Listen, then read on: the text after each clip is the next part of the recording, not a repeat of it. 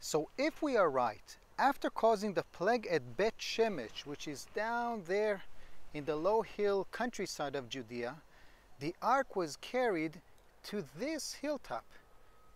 To this hilltop, whose Arabic name is Der el Zahar.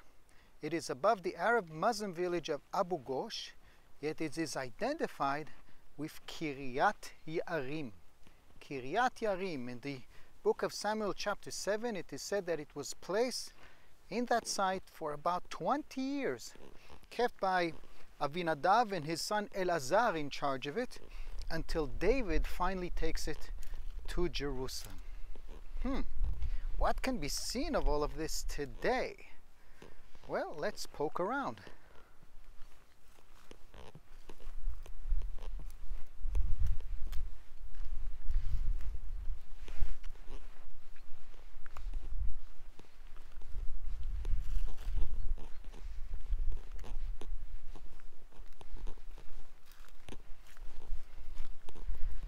I don't know if the camera catches it well enough, but there's actually quite a lot of pottery on the surface.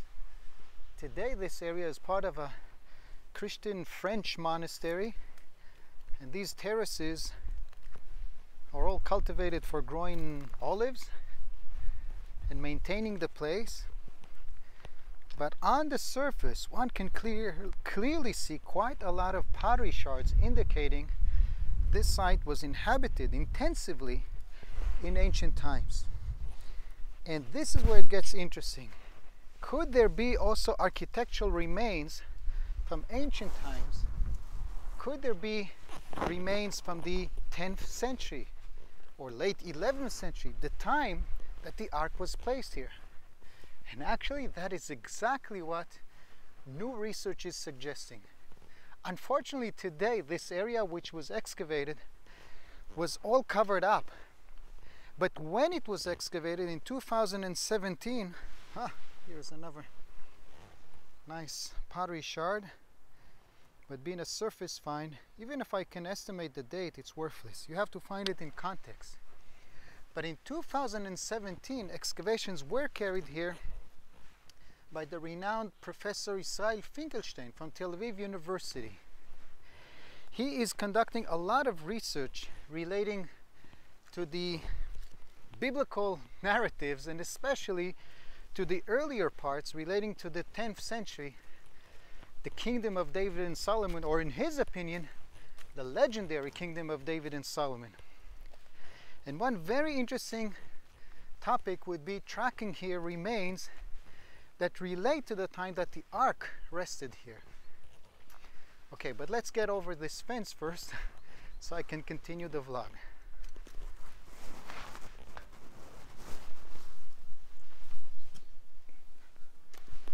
Okay, here we go.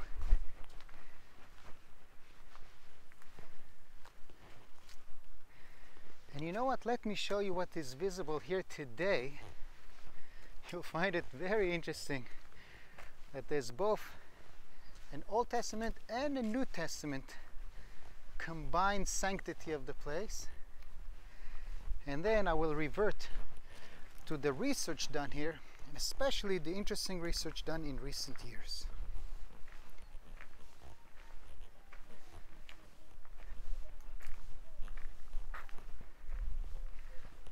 Okay, first of all, on the very hilltop, you have a church. And the name of the church, I don't know if the camera catches it from this distance, à la Vierge Marie Arc d'Alliance. The official name of this place is La Notre Dame, Our Lady, obviously the name of Mary, but of the Arc d'Alliance, of the Ark of the Covenant.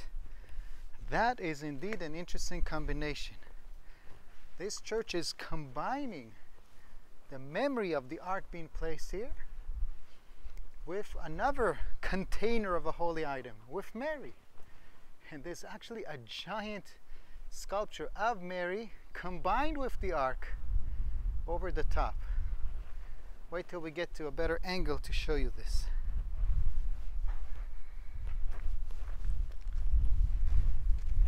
Unfortunately, since the pandemic broke out, the church itself is closed.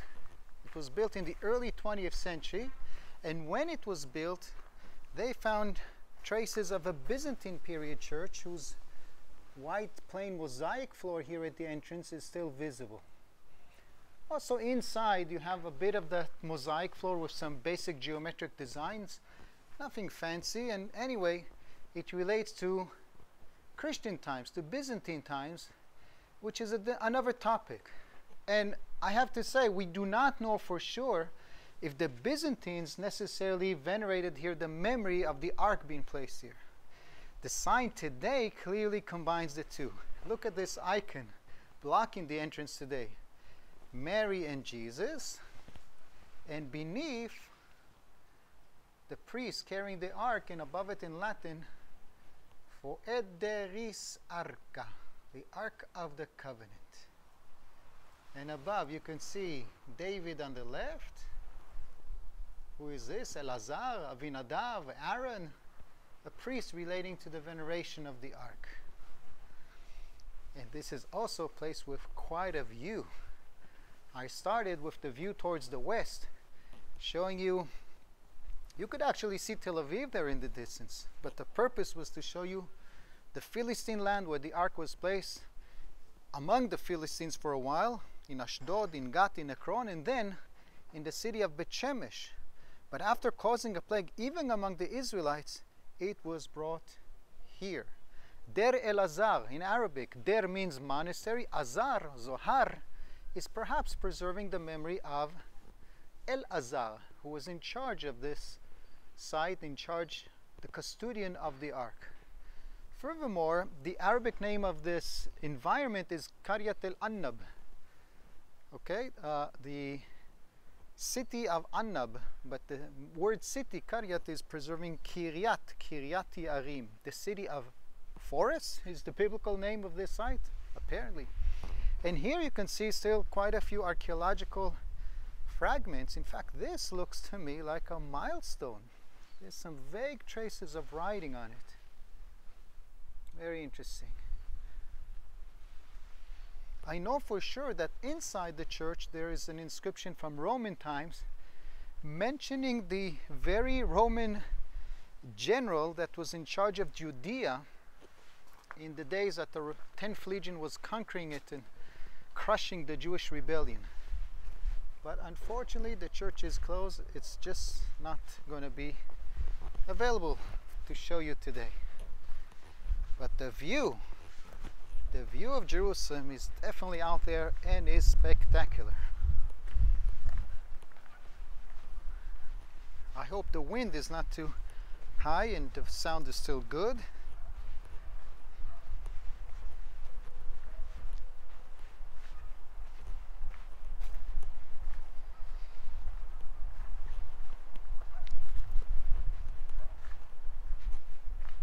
And here is a nice view of Jerusalem here, the modern city in the distance. This is a recent offering of Mary and baby Jesus uh, donated by Vietnam as the sign is saying there in the side.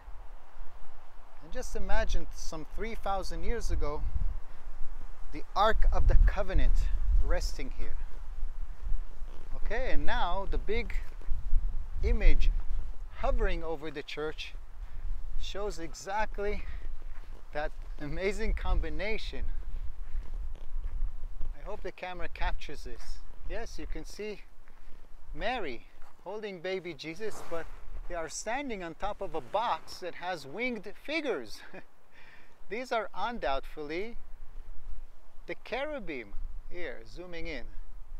And so this is the Ark of the Covenant. And yes, the Christian dogma, the Christian presentation of this is suggesting that the same box that contained the contract with the Lord can be quoted with the women that contained God's earthly messenger, Christ, combining the two in a very interesting way.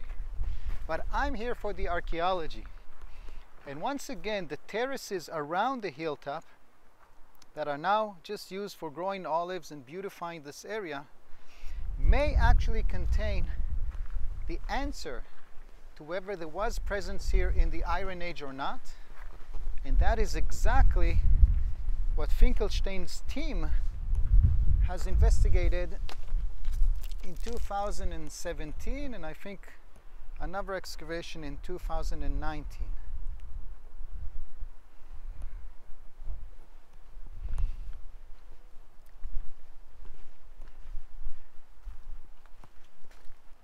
Okay, how do we get down without tripping over?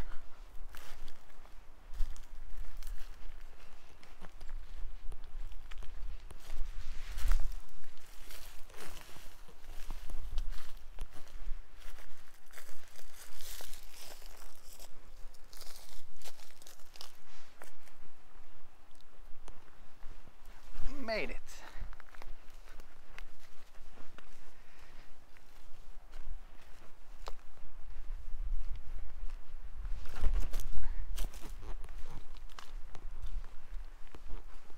Okay, here, when I walked a few weeks ago, when I walked a few weeks ago with my friend Idan Geva, is where we found what we believe is traces of what the Finkelstein's team originally uncovered. Here you can see the first part of it, the foundation of quite a significant wall.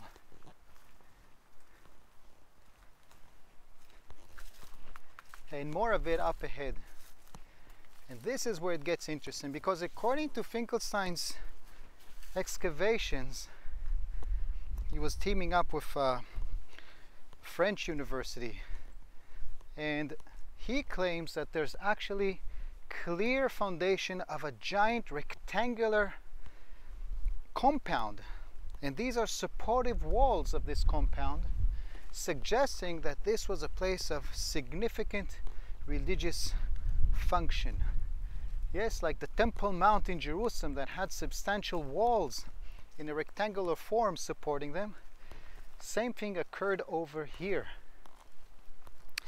The key question is what are the dates of these walls? And Finkelstein, using a certain um, dating technique, OSL, not the classic dating system by pottery shards under floors, nor the system of dating by carbon 14, but a rather new and somewhat debated dating system. Using that, he reached the conclusion that it dates to the 8th century BC, meaning it is Iron Age, but late Iron Age. And it's all part of his understanding that many of the stories appearing in the Old Testament are really compiled, created even around the time of King Josiah. Maybe they're containing vague memories of earlier times, but there's a lot of political maneuvers and manipulation when it's putting to writing. However, and I spoke to quite a few scholars, most of the ones I spoke to do not agree with the method he used and definitely with his conclusion. And Gabi Barkai, a dear friend, which excavated here in the 1990s, told me clear, clear and cut. Danny, when I excavated here, I found 10th century pottery. And when Finkelstein excavated here, I came to visit him and I showed him 10th century pottery. Meaning there was presence here also in the early Iron Age, in the time just before the ark was sent to Jerusalem. At the moment, that's all we can say. say. That's all we can show. More investigation is required to reach better conclusions.